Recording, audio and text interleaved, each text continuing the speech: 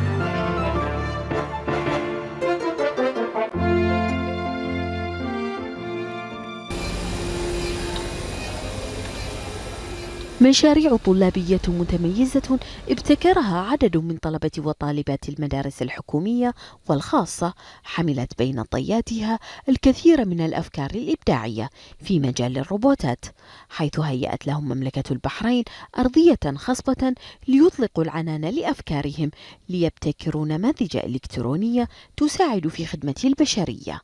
أحب أتقدم بخالص الشكر والتقدير لسمو الشيخ خالد بن حمد آل خليفة نائب الأول لرئيس مجلس الأعلى للشباب والرياضة. في الواقع أن هذه المبادرة الكريمة من سموه منذ سنوات عديدة بدينا اليوم نجني ثمارها كما جنيناه سابقا ولكن في ازدياد وتطور مهم. هذا العام شارك حوالي 76 فريق. في عندنا 33 مدرسة 10 محكمين. هذه المسابقة أتاحت للوزارة آه، فرصة أن الطلبة سواء في المدارس الحكومية أو الخاصة يطبقون ما يجدونه في المناهج.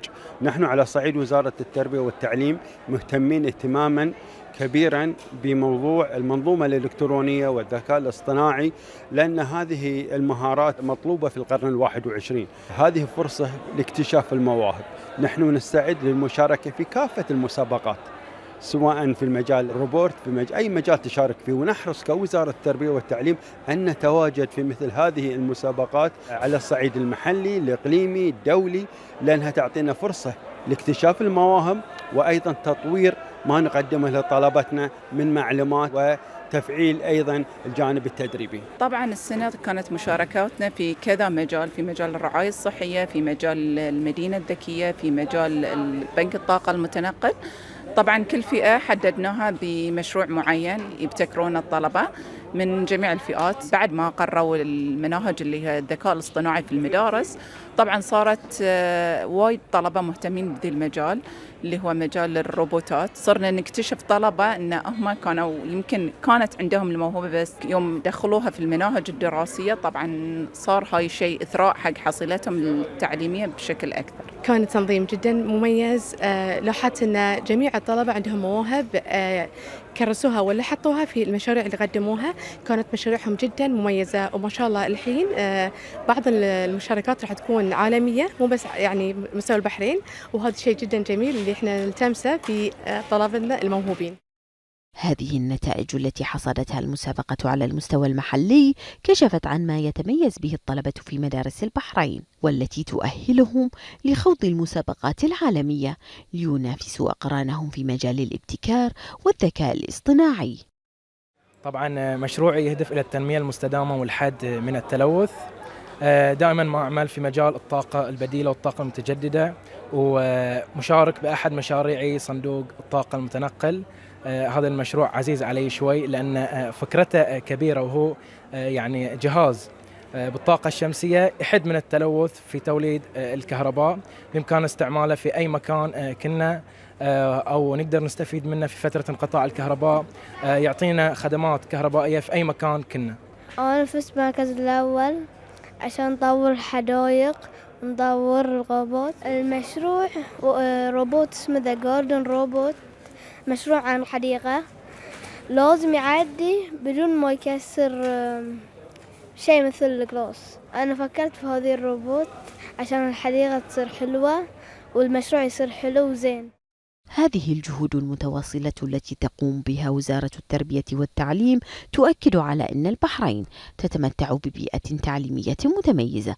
قادرة على اكتشاف المواهب الدفينة لدى أبنائها والعمل على صقلها وتطويرها في شتى المجالات ولا سيما في مجال الذكاء الاصطناعي وابتكار الروبوتات. يلعب نظام التعليم دورا محوريا في اكتشاف وتطوير مهارات الطلاب والطالبات في مجال الإبداع والابتكار وتنفيذ المشروعات العملية المعتمدة بشكل أساسي على الذكاء الاصطناعي والروبوت بما يرتبط ويثري تخصصاتهم القائمة على التطبيق العملي لتكون لهم بصمة في صناعة المستقبل في هذا القطاع. خولة القرينيس لمركز الأخبار تلفزيون البحرين.